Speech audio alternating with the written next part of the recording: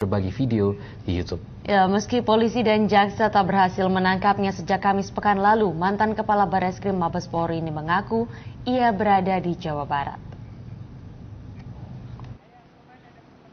Polisi dan jaksa boleh saja mengaku tengah memburu Susno Duaji, terpidana kasus korupsi PT Salmah Arwana Lestari dan dana pengamanan Pilkada Jawa Barat. Setelah meminta perlindungan ke Polda Jawa Barat dan Kamis dini hari meninggalkan Polda, keberadaan Susno tidak diketahui. Di sejumlah rumahnya baik di Jakarta, Depok maupun Bandung, mantan kabar reskrim Polri ini tidak ditemukan. Ternyata Susno yang sempat mendapat pengamanan di Polda Jawa Barat hingga Kamis dini hari tidak ke mana-mana.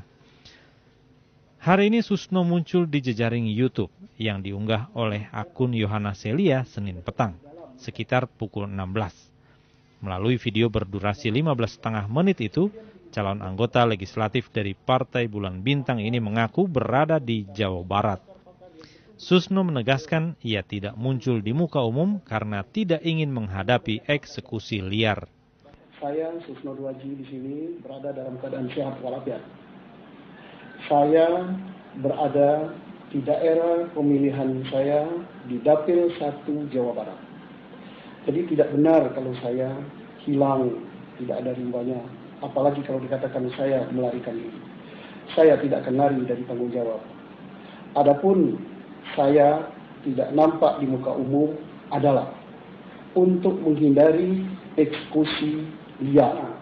Putusan perkara terhadap diri saya semuanya batal demi hukum. Mengapa demikian? Karena putusan pengadilan negeri pada bulan Maret 2011 tidak mencantumkan pasal 197 ayat 1 huruf K. Karena waktu itu Susno Duaji tidak berada di dalam sedang bebas demi hukum. Video ini muncul setelah Jenderal Polisi ini Senin petang masuk dalam daftar pencarian orang atau DPO.